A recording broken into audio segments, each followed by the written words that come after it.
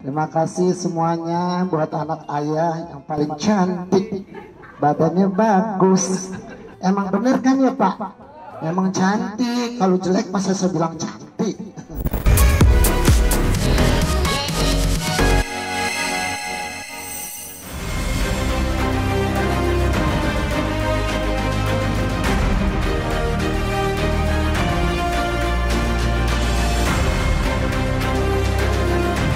Kebahagiaan membuncah tengah menyelimuti Ayu Ting Ting. Bagaimana tidak jelang pernikahannya dengan sang calon suami, Letu Muhammad Fardana, yang digadang-gadang akan dihelat di akhir tahun ini, salah satu rumah baru Ayu yang kabarnya akan menjadi istana barunya kelak bersama sang suami dan juga sang buah hati, Bilkis Kumaira Rajak, justru sudah selesai pembangunannya.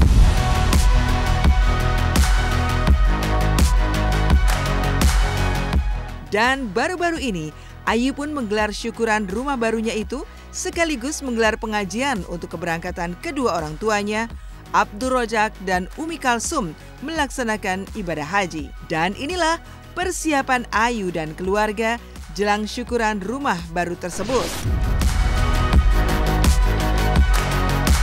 Assalamualaikum, Alhamdulillah hari ini selamatan tasawuf dengan kan alhamdulillah belum diselamatin ya. Dan juga apa tuh namanya kan mau berangkat haji mohon doanya biar lancar.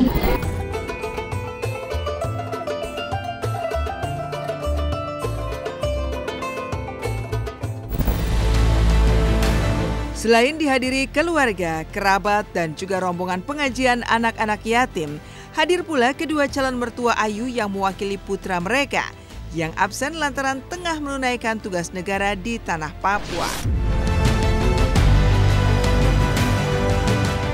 Dibuka oleh sambutan Saiful Bait yang diwakili oleh ayah Ojak dan Ayu Ting Ting, syukuran rumah baru Ayu pun berlangsung hikmat. Alhamdulillah wa syukur.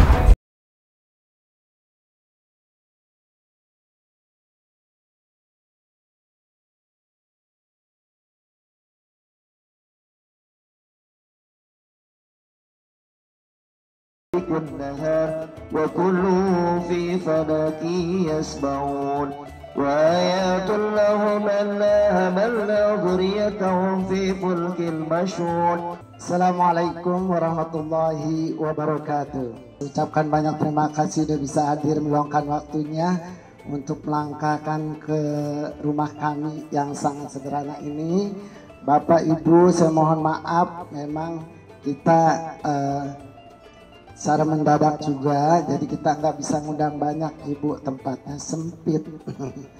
Terima kasih semuanya buat anak ayah yang paling cantik. Badannya bagus. Emang bener kan ya pak? Emang cantik. Kalau jelek masa saya bilang cantik. Uh, di pagi hari ini saya minta doanya uh, insya Allah uh, saya bisa menempati tempat tinggal baru di sini dengan nyaman akrab sama tetangga ya Bu RT bisa bersosialisasi dengan baik. Mudah-mudahan juga betah di sini. Mudah-mudahan rumah ini juga bisa membawa keberkahan dan juga bawa rezeki buat saya dan keluarga. Amin. Pokoknya saya minta doanya yang terbaik. Ingat kalau doa sebut nama kayu ya. Marilah sama-sama kita berdoa kepada Allah subhanahu wa ta'ala. Mudah-mudahan segala hajat kita keinginan kita dijabah oleh Allah subhanahu wa ta'ala أعوذ بالله من الشيطان الرجيم. بسم الله الرحمن الرحيم. الحمد لله رب العالمين. حمد الشاكرين حمد الناعمين. حمدا يوافي نعمه ويكافئ مزيده. يا ربنا لك الحمد ولك الشكر كما ينبغي لجلال وجهك ولعظيم سلطانك. الحمد والملك لا شريك له إن الحمد ونعمتنا كان شريك له Alhamdulillah hari ini ya selamatan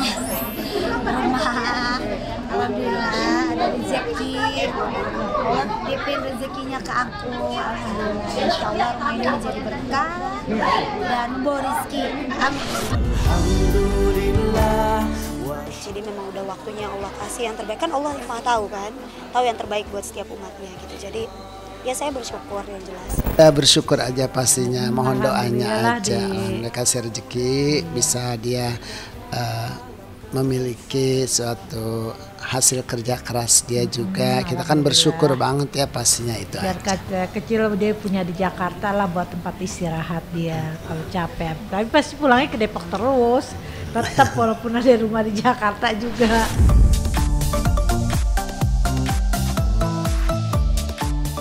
Di penutupan syukuran rumah baru Ayu ini, kehebohan terpantik.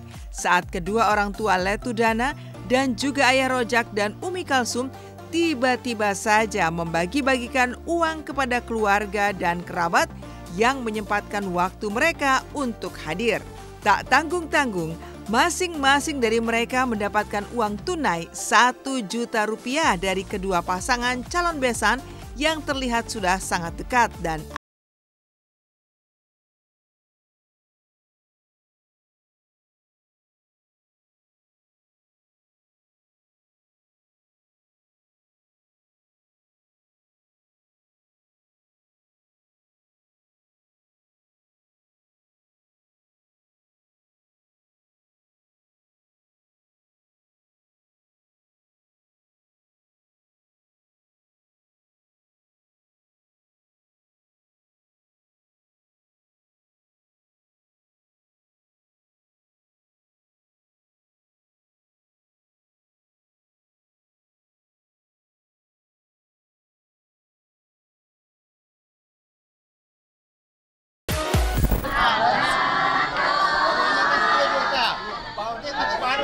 yang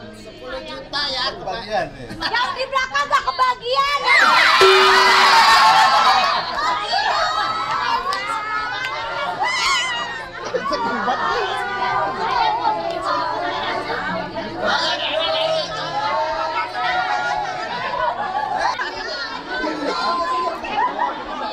Berapa mah duitnya?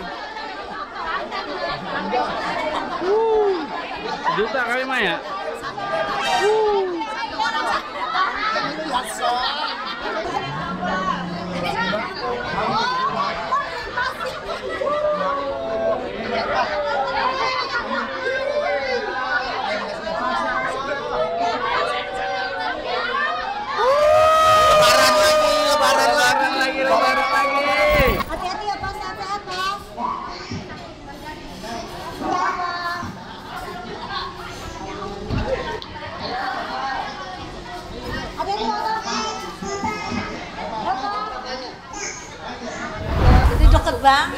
Sebelum jadi ini juga emang udah deket. Baik kan sama-sama baik. Doain aja. Ya itulah saya kemukakan tadi itu kan sudah bertanyakan saya nggak mau ngelihat latar belakang siapa pun nggak mau ngelihat pokoknya yang penting ini mereka sama-sama senang silakan jadi saya nggak ngelihat bahwa dia itu apa sebagai artis enggak yang penting mereka cocok ya saya ini terusin lah ini namanya yang mereka mau nikah mereka kan ya kita dukung aja karena Ayunya juga nggak mau ya eh, mau sendiri gitu tapi ya mungkin kalau udah ada pendamping baru udah kita mungkin ya Iya. Bu Tapi paling kalau weekend aja ya baru di Depok.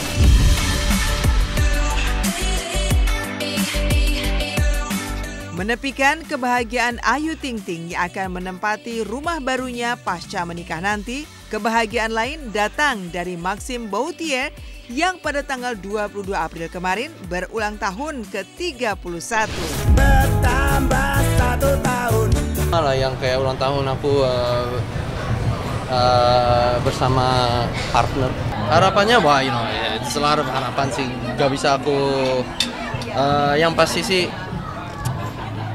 aku cuma bukan berharap tapi aku cuma bisa berterima kasih. Kayaknya sih seperti semua orang bilang sih pasti akan senang sih. You know, I mean like aku aku cuma bisa humble aja.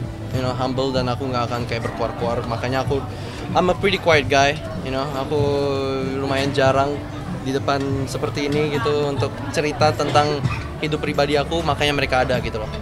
Mereka itu uh, line connection aku untuk bener-bener stay alive and stay uh, grounded. Bautier dari Luna Maya. Kita kan kerjasama di, di bidang yang sama gitu loh, jadi uh, sangat gampang untuk mensupport masing-masing dalam pekerjaannya masing-masing. Soalnya kan kita tahu bidangnya seperti apa gitu. Dan itu menurut aku yang membantu sekali sih. Ya artinya kan e, doa yang baik itu bisa menjadi apa ya energi yang baik juga buat kita. Jadi kadang-kadang kan untuk mengambil keputusan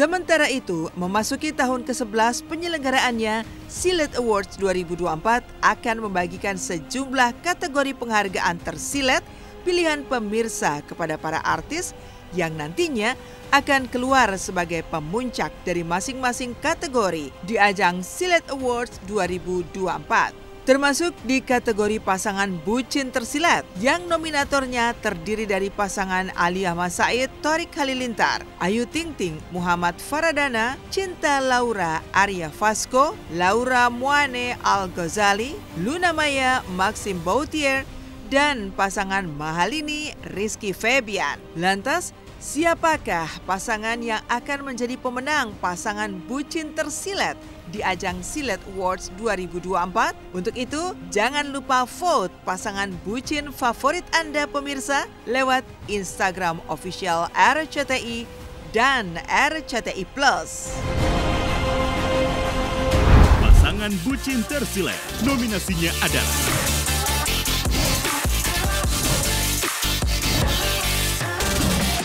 Saksikan Malam Puncak Silat Awards 2024 live di RCTI. Hai para penonton, jangan lupa saksikan Silet Award. Halo pemirsa Silet, jangan lupa pilih dan vote artis-artis di kategori Silet Awards 2024. Jangan lupa saksikan Malam Puncak Silet Awards 2024, pastinya seru heboh dan spektakuler. Aktris tersilet, nominasinya adalah Aktor tersilet, nominasinya adalah Pemain sinetron anak tersilet, nominasinya adalah Sinetron tersilet, nominasinya adalah Pasangan sinetron tersilet, nominasinya adalah Momen tersilet, nominasinya adalah Pasangan bucin tersilet, nominasinya adalah Asmara tersilet, nominasinya adalah Voting pilihan tersilatmu segera. Saksikan Malam Puncak Silat Awards 2024 live di RCTI.